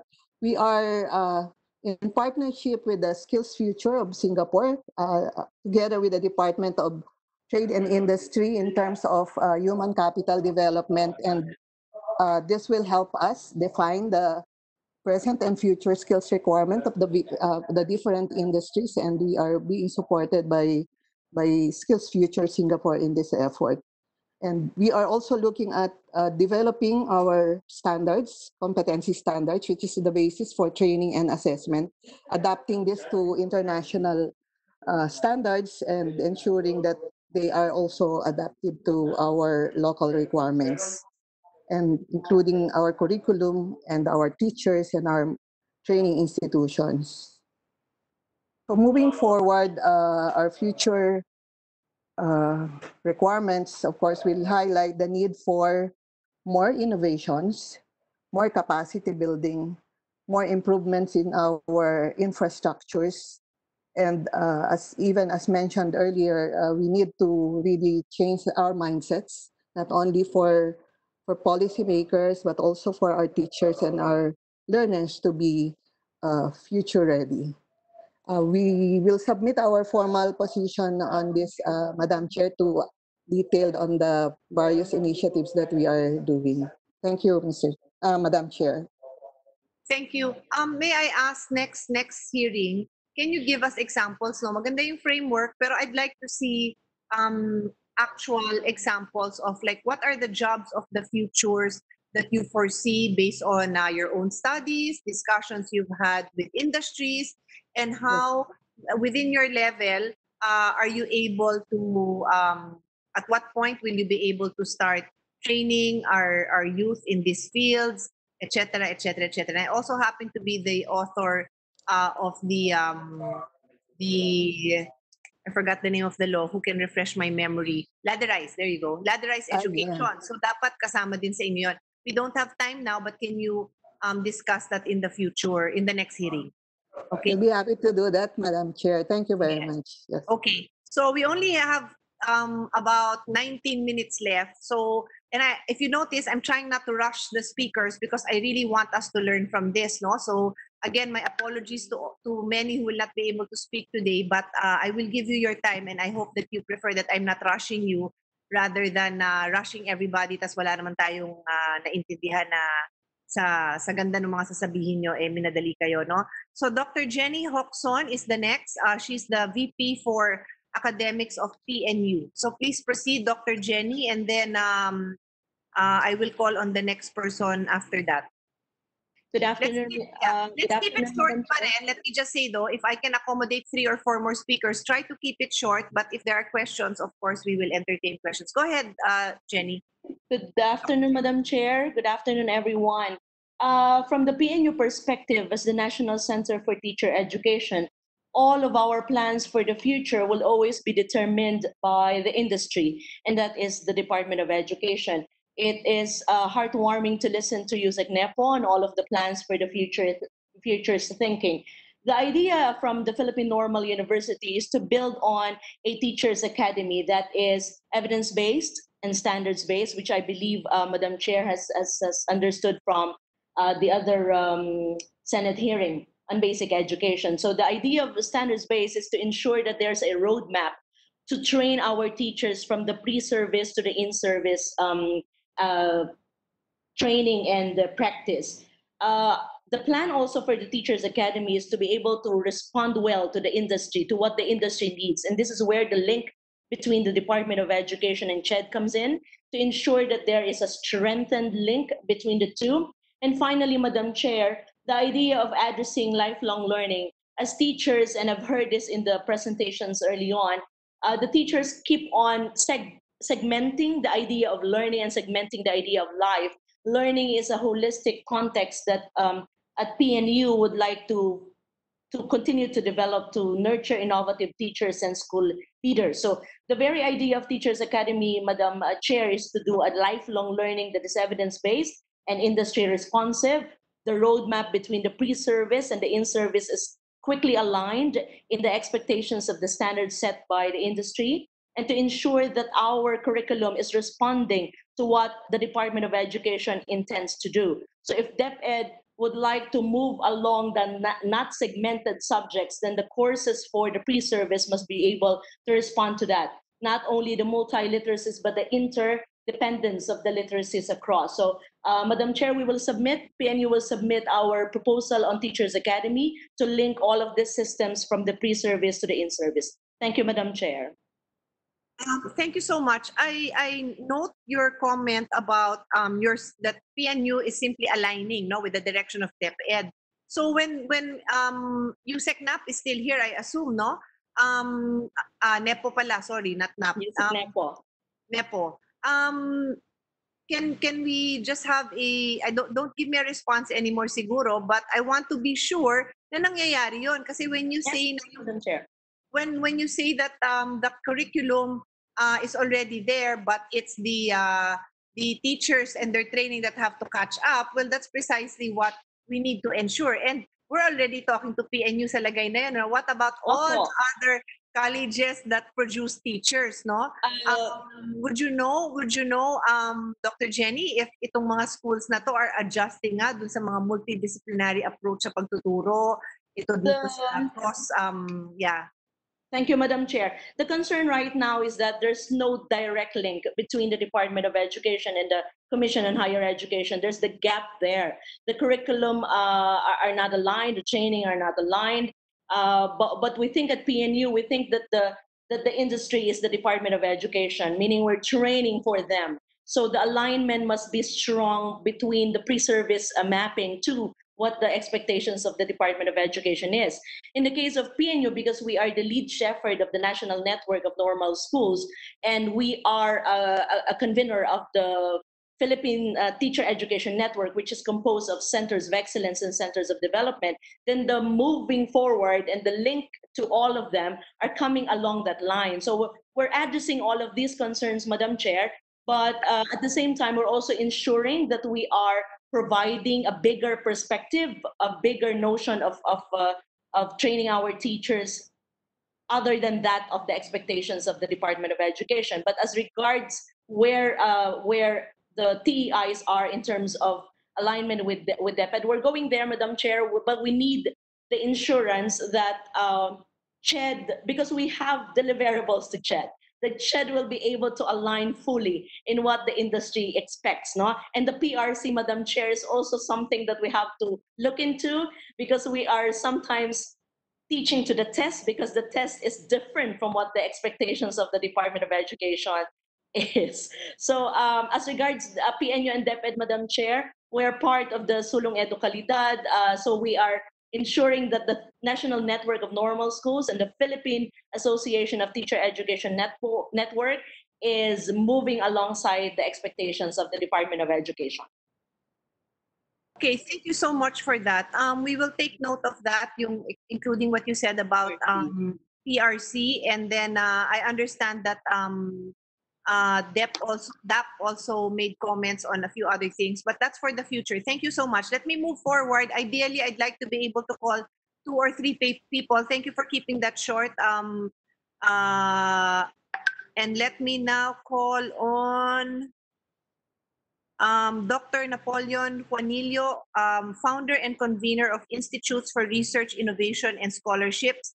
And then after that would be Christine Reyes of uh, SEAMEO, Southeast Asian Ministry of Educational Organizations. All right, so Dr. Uh, Juanillo, please.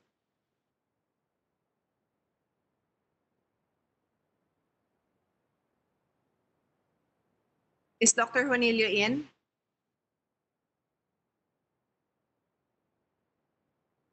If Dr. Juanillo is not in, I will call on um, Ms. Christine Reyes first.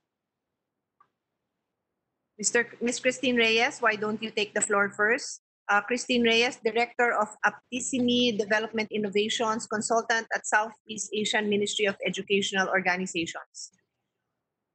Go Okay, ahead, Ms. uh, Christine Reyes. Can, I- can you hear me? Senator, yes. Yes, I can, Can yes, I can hear you. Yes. Okay, good afternoon, everyone. Uh, SEAMEO INNOTECH, where I am a consultant, we do online uh, courses for teachers and uh, school heads in Southeast Asia. So this topic is very important to us because currently we're we're doing a strategic thinking and innovation and developing managerial leadership. So in terms of the new normal, I just like to say that our current educational system has been based on the second industrial revolution and we're moving now to the fourth. So we're really very far behind. And uh, in terms of uh, the challenges we have, if we design the future that we want to have in terms of our educational system, uh, the COVID is actually an opportunity for us to shift from where we are to where we want to go. So right now, everything is very top down. It's the central office providing the guidance and the direction to the schools. But our premise is our current realities does not really lead to our being able to adapt to the new normal. Uh, we have a lot of challenges. We have a lot of um, difficulties in terms of resources and schedule. So right now, what do we need to do? Uh, in a presentation that I sent her some data from uh, the Department of Education that shows uh, it's really impossible right now to do online because uh, the students have not been surveyed and it's the students who do not have the resources to go online really, especially those at the rural areas. So uh, there's a slide in slide number six. Uh, we look at the how do we design a more responsive educational delivery given the new COVID. And uh, there are four areas. We'd like to look at the school context, uh, teacher competencies, resources needed at home, and support needed by the school. So right now, all of the things, uh, many of the things here are not available for us. So it's really a challenge to go to the dreams that we have in the future if our current realities are not yet there. So uh, what is it that we need to do? We need to be able to help the schools design their own delivery system. I know it's difficult right now because DepEd's uh, frame is that it's from the central office down to the schools, from the region to the division to the district. However, it's the school who knows best how delivery systems can be done because they know the students, they know how proximate they are to the schools, they know um, where how many students they need. So for us to be able to start that small step towards the future, we need to decentralize design and decision making. We need to help the teachers. Right now, there's only 9% of teachers that were surveyed by DepEd who know how to do instructional design. So that's a lot of that. That's a very big gap for them to shift right now. So to allow us um, to do this, the consideration is uh, delivery. We should base it on the school context at the bottom.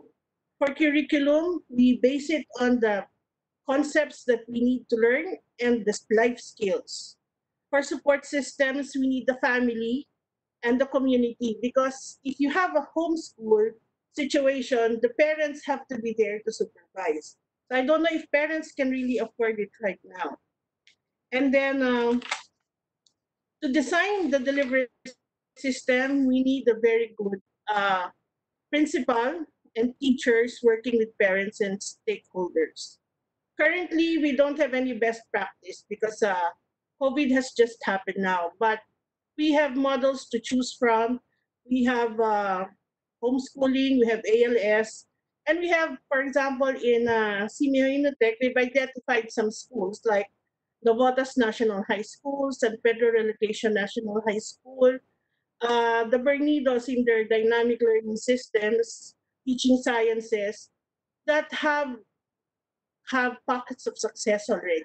But it's not because of COVID, so we need to kind of uh, check and uh, adapt it. So for the new normal, the objective is designing our future starting today. Uh, we want it to be, we want our schools and teachers to be, uh, school heads to be agile, resilient, responsive, and all of this will result in sustainable development. We want to move forward to the third and the fourth industrial re- revolution, and this is the opportunity right now. So we need to change competencies. We need to change the way that we operate our educational system. It's a challenge, but this is, I think, a very opportune time for us to do so. So mind shift. I mean, the dreams are all there, but how to put it in operation is really the challenge. And I think we need to begin now. That's it. Thank you for that. Keeping it short, but um, please, please attend our next hearing again, no? Because I have a lot of questions, but I'd like to save it na lang for later. I'd also like to get DepEd's reaction later on kasi medyo na-surprise ako dun sa statement na we are, um, ano yun, we are, our, our curriculum is based on the second industrial revolution. In fact, DepEd, I forgot lang kanina, why I, I, I want to interject as soon as I hear something. Um, there's this very interesting uh, research, um, and it's it's actually a um, podcast, I believe, um, on the state of the math curriculum in the US. US na to, no? And apparently, um, um, the conclusion is their math curriculum is um, based on the 1900s, the early turn of the century pa, 1900, early 1900s. That's the US. Ano pa kaya yung sa atin, no? Assuming we mirror them, di siguro we're around that same level, but the competencies might even be lower. No, that, so so that's what I want to discuss next time. We don't have time now, but can you please note my concerns and let's discuss that later on. Um, we have a whole number of um, Metrobank awardees, and uh, my team only allocated a few minutes, but I I beg to um, I beg for your indulgence because I do not want to cut short uh, these great ideas coming from these people. And since I only have four minutes before I leave, I think what I would do now is just ask um, Principal Dr. George Tison of uh, Taguig City kasi it resonates with the messaging um, just now, no? Na uh, we need to empower and in a way localize, no? Uh, decentralize the decision making. Kasi sa Taguig City, in as much itong school ni um, Dr. George, in as much it is a DepEd public school, I think uh, Taguig has tried to empower the the school very much and they're able to come up with a lot of innovation. So Dr. Tizon, mga 2 to 3 minutes lang, pwede naman continued lahat sa next hearing natin. Please explain na lang yung inyong uh, program on uh, on um, cyber cyber learning ba tawag niya? Please proceed.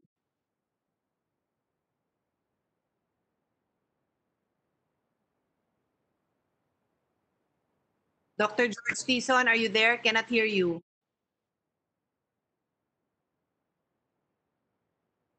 Doc George?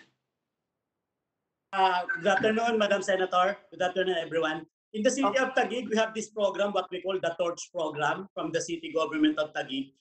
Torch stands for uh, Taguig Online Resources and Community Hub. It's an umbrella program uh, that concerns uh, primarily the two educational program called the Cyber Lab at Home. The Cyber Lab at Home is an online training for our teachers uh, Madam Senator, we prepare our public school teachers for online training, for homeschooling. Around 4,500 of them already went uh, training, underwent training uh, for the last four weeks, and they're about to graduate, making them prepared for the homeschooling for the new normal, together with 1,000 uh, private school teachers to make sure that our approach is inclusive in the city of Taguig. Another program, Madam Senator, is the Tech Talk program, or the training and enrichment courses from Taguig Online Campus. It's an online uh, training program for all Taguig residents, which we provide uh, for our residents in order for them uh, to have an online training while they are staying at home during the quarantine period. And uh, once uh, the Taguig residents uh, registered in this uh, Tech Talk online program, they will be given access to more than 250 courses, different courses online, provided by the Skillsoft company, a worldwide known uh, e-learning company. And uh, all this program is because of our preparations and the foundations that we built in, in, in making sure that the public education in the city of Taguig uh, will stand and uh, will will meet the challenges, especially now that we are facing the COVID pandemic. And uh, of course, our public schools are 100% Wi-Fi